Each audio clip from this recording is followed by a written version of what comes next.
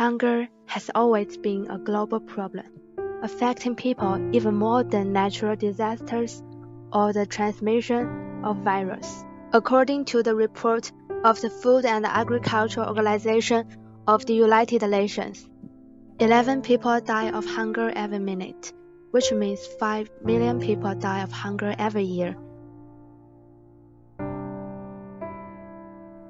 Yet 1.3 billion tons of food is wasted every year.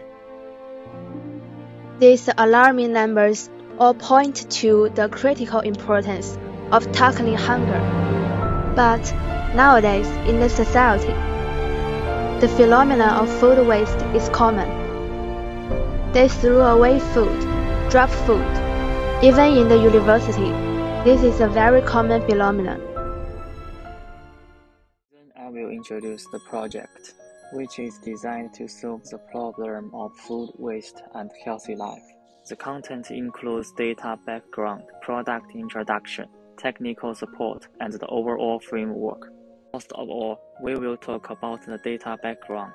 Nowadays, food waste among college students is a serious problem. We can see these scary statistics. And contemporary college students generally lack the concept of a good diet. After seeing this, we are worried about the health of college students. So how can we solve these problems? Our program can help you. Here is our product purpose. The product combines hardware and software based on the Human Development Goals of Zero Hunger and ensure healthy life in the 17 Sustainable Development Goals put forward by the United Nations. Our team invent an intelligent scale to solve the daily food waste problem of college students. And this is product introduction. This product interacts with apples through intelligent scales. How the product runs. Step 1. Scan the QR code and weigh the food. Step 2. Display user's data and give the scheme. Step 3. Record the weight and feedback. Step 4. Update data after eating. Step 5. Users give comments. Here are the advantages of the product. This product can reduce waste, improve transaction efficiency, develop a healthy life, and help information update. Then we will introduce the technical assistance.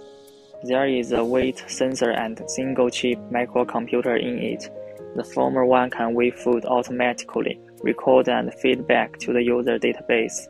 The latter can make the weight server interact with the user database and the MIDI app, which includes user management module, user information module, business platform, and the service platform will help you save food.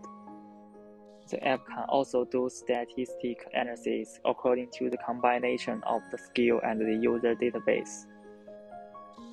At last is the overall framework.